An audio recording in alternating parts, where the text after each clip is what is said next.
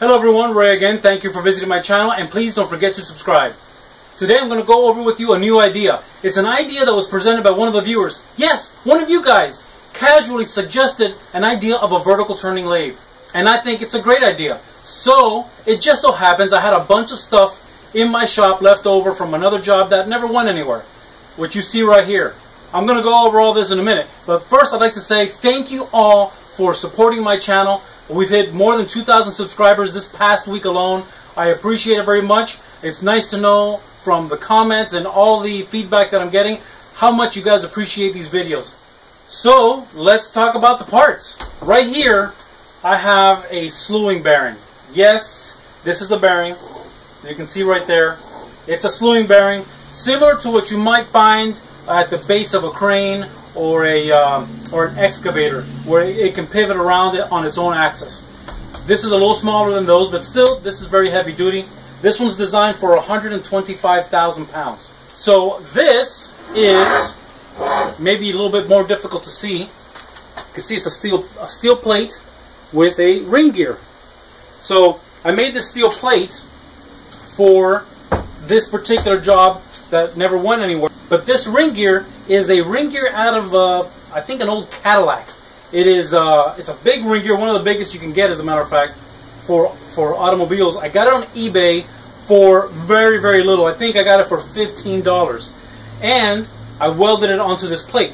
Uh, it doesn't have a lot of welds, about a one-inch weld in about eight or ten places, but that's plenty strong for what I needed. I purchased this gear, brand new, and I um, I had it I bored it to fit this gearbox. We'll go over the gearbox in a minute. So this gear, I measured these teeth, and it's 14 and a half degree pressure angle. And I bought this gear, and this gear actually cost me more than this ring gear. But you can see, when I put it on here, how nicely it meshes.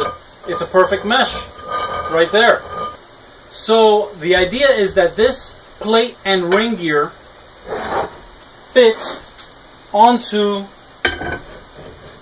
this slewing bearing. This gearbox, you see right here, it's a one-to-one -one gearbox. So one revolution of this shaft gives you one revolution of this shaft. So for my purposes, that, that's fine. I think this is rated for about three quarters of horsepower, so it'll be fine. The idea was that I had this board and I needed the reach because I had a lot under this table. Now things are different since I'm adapting this for the vertical lathe and I'm going to have to bore this out again to fit onto this side. So this gearbox is going to sit like this with this gear on it and it's going to engage the ring gear. This gets me far enough away where I can have either a motor with a pulley or a hand wheel. It doesn't really matter for this particular case. What's interesting though is the gear reduction. So this is a one-to-one -one gearbox. There is no reduction on this box. However, this is a 24 tooth gear. I've, I've already taken the liberty of counting all these teeth. It's 196 teeth. And the way you determine a gear reduction when you have gears is counting the teeth and dividing them. So 196 divided by 24 gives me an 8.16 ratio. Or you can round that up to 8.2 ratio. So if I have a 1725 motor connected to this gearbox, when I have all this together, means that my plate is going to be moving at about 210 RPM, which is perfect for what I want. So the next phase is to start thinking about the design of this machine.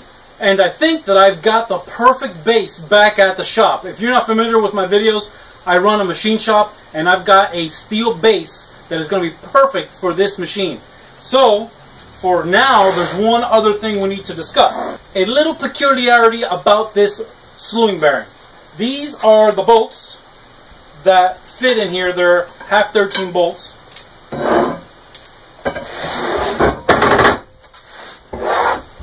This slewing bearing, though, has very narrow counterbores. So if I try to put a regular screw in there, the head is too big. So I've taken the liberty when I was working on this project years ago, there's a regular screw, and this is a modified screw. You can see I turned the heads down a little bit so it actually goes through that plate. I'm going to go ahead and mount this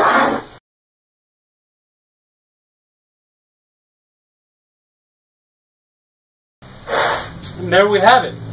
You can see this is going to get bolted very firmly to the base. I'm going to be able to rotate this. There's no play in this bearing. Going to have to mount my gearbox, bore out the, the uh, gear so I can mesh it properly. I'll need to put a guard on here to keep these gears from getting grease on them. Mount a motor. So I need to figure out what to make and attach to this plate here in order to be able to hold on to a piece of wood. As you can see, this is not going to be a threaded situation with a threaded spindle. I'm completely open. There's nothing in here. Your standard chucks that you can buy anywhere will not work here unless I make a special plate. But if I've got something this size, I might as well make my own jaws or other fixture by which to attach wood. Don't know what that is yet. If you have any ideas, put in the comments. I will read them, and I am looking for a good idea. Now, the last thing is you're thinking, vertical lathe, that's the weirdest thing I've ever heard. Why, why would anybody do that? It turns out vertical lathes have been around for a long time, probably around the Industrial Revolution. Um, in fact, we have one in the shop. I'm going to put a picture here. You can see that is the vertical lathe we have in the shop.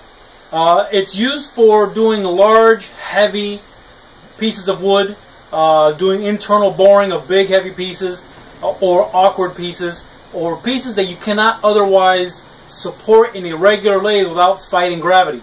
Remember, in a regular lathe, you have a bed that's in your way. When it's vertical, you can put your turret anywhere you want. You can put your tool anywhere you need it to be.